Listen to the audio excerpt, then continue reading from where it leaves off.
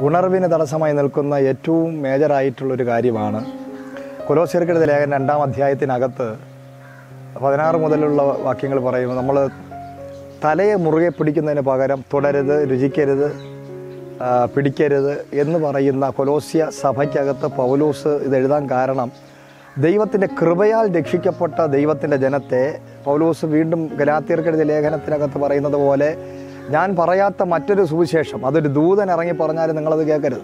ഇന്നത്തെ പ്രശ്നം യേശുക്രിസ്തു എന്ന തലയെക്കുറിച്ചല്ല പ്രസംഗം. ഇന്ന് നമ്മുടെ പ്രസംഗ വിഷയങ്ങളെല്ലാം മാറുന്ന പലപ്പോഴും സുവിശേഷം പ്രസംഗിക്കപ്പെടേണ്ട സ്ഥലത്ത് നമ്മൾ പ്രസംഗിക്കുന്നത് നമ്മൾ മലയാളികൾ മലയാളികളെ നോർത്ത് ഇന്ത്യ പോയാലും ലോകത്ത് എവിടെ പോയാലും നമ്മൾ മലയാളിവൽക്കരിക്കുകയാണ്. ക്രിസ്ത്യാനിയാക്കുന്നതല്ല നമ്മുടെ പരിപാടി.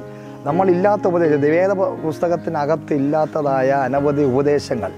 അപ്പോസലന്മാർ പതിനഞ്ചാം അദ്ദേഹത്തിനകത്ത് ജാതികൾ രക്ഷിക്കപ്പെട്ട് വന്നപ്പോൾ അവർ പാലിക്കേണ്ട കാര്യങ്ങളെക്കുറിച്ച് അവിടെ പറയുമ്പോൾ അവിടെ തന്നെ രക്തം രക്തത്തോടു കൂടിയോ അല്ലെ ശ്വാസം മുട്ടി ചത്തോ ഇതൊന്നും കഴിക്കരുതെന്നല്ലാതെ ജാതികളിൽ നിന്ന് വരുന്നവർക്ക് മറ്റൊന്നും പാതകമല്ല എന്ന് അവിടെ പറയുന്നുണ്ട്.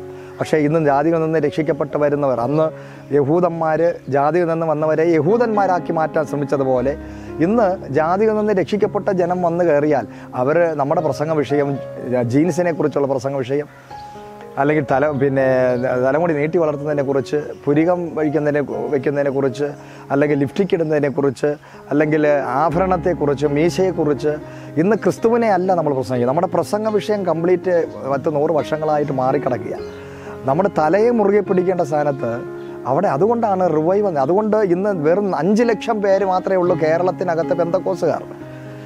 എന്തുകൊണ്ട് റിവൈവ് നടക്കുന്നത് എന്തുകൊണ്ട് ജനം രക്ഷിക്കപ്പെടുന്നില്ല? കാരണം നമ്മളെ കാണുമ്പോഴേ ഭീകര ജീവികളാണെന്ന് പറഞ്ഞ് ആൾക്കാർ ഓടി രക്ഷപ്പെടുകയാണ് കാരണം ഇവരുടെ അകത്ത് ചെന്ന് കഴിഞ്ഞാൽ ടി വി കാണാൻ പറ്റത്തില്ല. ടി വി ടി വിക്കെതിരായി പ്രസംഗിച്ചവരുടെയൊക്കെ വീട്ടിൽ ഇന്ന് വലിയ ടി വികളായി.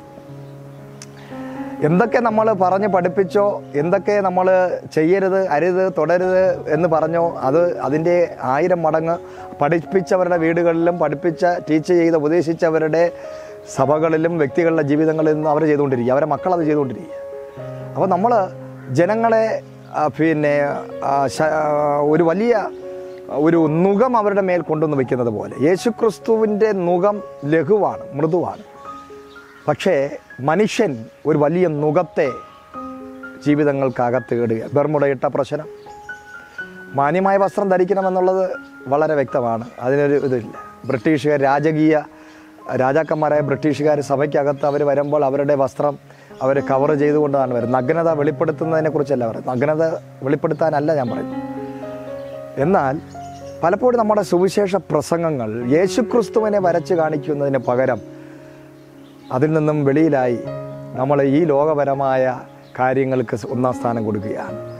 വളരെ തുച്ഛമായ പുച്ഛമായ വളരെ ലജ്ജ തോന്നുന്ന വളരെ സങ്കടം തോന്നുന്ന മറ്റുള്ളവരുടെ പേഴ്സണൽ കാര്യങ്ങളിൽ ഇടപെടുന്ന അവരെ കൺട്രോൾ ചെയ്യാൻ ശ്രമിക്കുന്ന അവരുടെ വസ്ത്രധാരണങ്ങളെ കർത്താവായ യേശു ക്രിസ്തുവിന്റെ സുവിശേഷം ലോകം മുഴുവനും വ്യാപരിക്കണം. എന്തിനു വേണ്ടിയാണ് യഹൂദന്മാരുടെ ഇടയിൽ മാത്രം ഉണ്ടായിരുന്ന ഒരു ഒരു ഒരു വിശ്വാസ പ്രമാണത്തെ ഒരു ദൈവത്തെ മാനവരാശിയുടെ ഇടയിലേക്ക് ഒരു സുവിശേഷം പ്രചരിപ്പിക്കുന്നതിന് വേണ്ടി തോമസ് ലീഹ കേരളത്തിൽ വന്നപ്പോൾ യഹൂദനായ തോമസ് ലീഹ ഈ കേരളത്തിൽ വന്നപ്പോൾ എന്ത് കഴിച്ചു എന്ത് കുടിച്ചു എങ്ങനെ ജീവിച്ചു? ഇവിടുത്തെ കൾച്ചർ ഇവിടുത്തെ ഫുഡ് ഇവിടുത്തെ ഇതെല്ലാം വ്യത്യാസം. ഒരു യഹൂദനായ വ്യക്തിക്ക് എങ്ങനെയാണ് ഉൾക്കൊള്ളുക അതാണ് ഹോളി സ്പിരിറ്റ് അകത്ത് വരുമ്പോൾ പരിശുദ്ധാത്മാവ് അകത്ത് വരുമ്പോൾ എന്ത് കുടിക്കുന്നു? കഴിക്കുന്നതിനെക്കുറിച്ചോ പിന്നെ കുടിക്കുന്നതിനെക്കുറിച്ചോ അല്ലെങ്കിൽ ഇടുന്ന വസ്ത്രങ്ങളോ ഇതൊന്നും അല്ല. നമ്മുടെ ഏറ്റവും വലിയ പ്രാധാന്യം ജനത്തിന്റെ മാനസാന്തരമാണ്. ജനത്തിന്റെ രക്ഷയാണ്. കേരളത്തിലുള്ളവർ സാരി ഉടുക്കുന്നു ചുരിദാർ ഉടുക്കു ഇടുന്നു പാന്റും ഷർട്ടും ഇടുന്നു. എന്നാൽ ഇവിടെ നിന്ന് നേരെ യു പിയിൽ പോകുമ്പോൾ ബീഹാറിൽ പോകുമ്പോൾ മധ്യപ്രദേശിൽ പോകുമ്പോൾ അരുണാചൽ പ്രദേശിൽ പോകുമ്പോൾ ഓരോ സ്റ്റേറ്റ് വിടുമ്പോൾ അവിടുത്തെ ആഹാര രീതി തന്നെ വ്യത്യാസമാണ്. പട്ടിയെ കഴിക്കുന്നവരുണ്ട് ഉറുമ്പിനെ ചമ്മന്തിയാക്കി കഴിക്കുന്നവരുണ്ട്.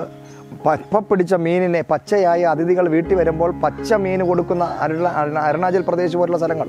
പച്ച മീൻ കഴിക്കുക അതാണ് അവർ അതിഥി സൽക്കാരം. നമ്മുടെ കേരളത്തിലുണ്ട് എത്രയോ വലിയ വലിയ അഭിഷിക്തന്മാർ മിഷണറി കാര്യന്മാർ ഓരോ സ്ഥലങ്ങളിൽ പോകുമ്പോൾ അവിടെ ട്രൈബൽസിന്റെ ഇടയിൽ അവർക്ക് വസ്ത്രമില്ല. അവരെ ഉടനെ വസ്ത്രം ഉടുപ്പിക്കാനല്ല നമ്മൾ അവരെ മാനസാന്തരത്തിൽ ക്രിസ്തുവിലോട്ട് വരുമ്പോൾ അവരിതെല്ലാം ചെയ്തോളും. നരഭോജികൾ മനുഷ്യനെ തിന്നുന്നവരുടെ ഇടയിൽ പോകുക. ഉടനെ അവിടെ ചെന്ന് മാലയും കമ്മലൊക്കെ ഓട് അല്ലെങ്കിൽ ഒരാളിനെ കണ്ട ഉടനെ നൂൽ കെട്ട് പിന്നെ ആ നൂലങ്ങ് എടുത്തുകള അല്ലെങ്കിൽ ഏലസങ്ങ് എടുത്തുകള പൊട്ടങ്ങ് മാറ്റ് കമ്മലങ്ങ് മാറ്റ് ഈ വസ്ത്രമങ്ങ് മാറ്റ്. ഇങ്ങനെ പറഞ്ഞ് പറയാൻ തുടങ്ങുമ്പോൾ അവിടെ തന്നെ അതുകൊണ്ടാണ് ഇന്ന് സുവിശേഷം അറിയിക്കാൻ. ഒരു വീട്ടിൽ ചെല്ലുകയാണ്. അവിടെ ചെന്ന് കയറിയ ഉടനെ അവിടെ ഇരിക്കുന്ന ഫോട്ടോ എല്ലാം എടുത്ത് മാറ്റ്. ഒരു വർഷങ്ങളായി ഇരുപത്തഞ്ചും അമ്പതും നൂറും വർഷങ്ങളായ ആചാരങ്ങൾക്കകത്ത് കിടക്കുന്ന ഒരു വ്യക്തിയുടെ വീട്ടിൽ ആദ്യമായിട്ട് സുവിശേഷം ചെന്നിട്ട് ഇവിടെയുള്ള ഇതെല്ലാം എടുത്ത് മാറ്റാൻ പറഞ്ഞ് അപ്പോൾ തന്നെ അവർ അടി അടി കൊടുത്ത് അതാണ് പല പാർഷന്മാർ ശുശ്രൂഷകർ എങ്ങനെ സുവിശേഷം പറയണമെന്ന് അറിയാതെ തീക്ഷ്ണതയോടെ തീവ്രവാദികളെ പോലെ ചെന്ന് ക്ഷേത്രങ്ങൾക്കകത്ത് കയറുന്നു. ഇവിടെ വിഗ്രഹങ്ങളെ നോക്കി ചീത്ത പറയുന്നു. ഉടനെ തന്നെ അടി വാങ്ങിക്കുന്നു. പല്ലെല്ലാം പോകുന്നു.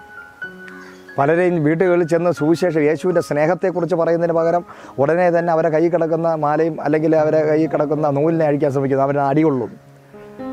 അപ്പോൾ ഒരു ഭീകര ജീവിതകളായി തീവ്രവാദികളായി മാറ്റുകയാണ്. ഇന്ത്യയിൽ പല നാനാ പല ജാതികൾ പല പല തരത്തിലുള്ള സംസ്കാരങ്ങൾ ഒരുമിച്ച് സമന്വയിച്ച് മുന്നോട്ട് പോകുന്ന രാജ്യമാണ് ഇന്ത്യ. നമ്മൾ കേരളത്തിലുള്ളവർ ഒരു പൊട്ടക്കിണറ്റിനകത്ത് കിടക്കുമ്പോഴേ പോലെ നമ്മൾ നമ്മളെ നമ്മളെ മാത്രമേ കാണുന്നുള്ളൂ. പക്ഷേ ഇന്ത്യ എന്ന് പറയുന്നത് നാനാത്വത്തിൽ ഏകത്വം. പല സംസ്കാരങ്ങൾ പല കാസ്റ്റുകൾ പലതരത്തിലുള്ള ആൾക്കാർ പല പിന്നെ സംസ്കാരത്തിൽ ജീവിക്കുന്നവരാണ് അവരുടെ ഇടയിൽ അവരുടെ സംസ്കാരം മാറുന്നത് യേശു വരുമ്പോൾ അവരുടെ സംസ്കാരം മാറും. ആദ്യം നമ്മൾ കൊടുക്കേണ്ടത് ക്രിസ്തുവിനെയാണ്.